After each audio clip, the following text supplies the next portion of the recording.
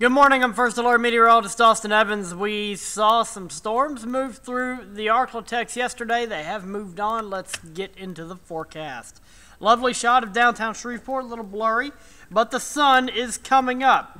Can you tell I have lost an hour of sleep? But uh, some light showers still in the Arklatex, nothing major. The heavy stuff has moved off to our east.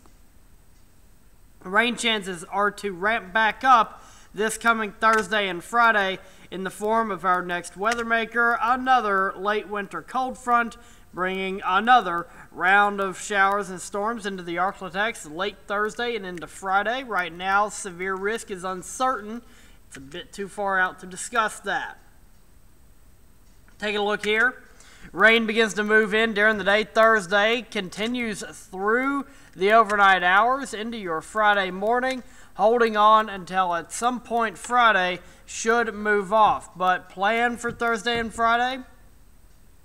Plan to bring that umbrella, and hopefully we won't have to cancel your Friday evening plans. Today, temperatures dropping throughout the day. We're going to be hitting that high early this morning. And over the next few hours, we're going to drop into the upper 50s. If you haven't yet, Bring forward your clocks, all of them. That happened at 3 o'clock this morning. Daylight saving time began. Spring forward your clocks uh, so you don't forget.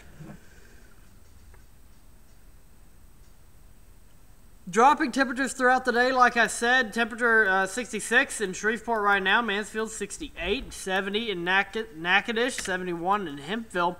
Let's go through future track real quick with some showers holding on into the noon hour today. Cloud cover holding on as well. That will be the case throughout your Sunday. We'll see some decreasing cloud cover overnight. Monday will be a lot sunnier, but we're going to be staying cool with highs only in the 60s. Today, we're at our highs pretty much right now.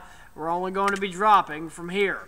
Your first alert seven day forecast showing the temperature continuing to be in the 60s through Tuesday and then we'll warm back up going into the midweek. I'll have up to date details coming up on KSLA News 12 this morning.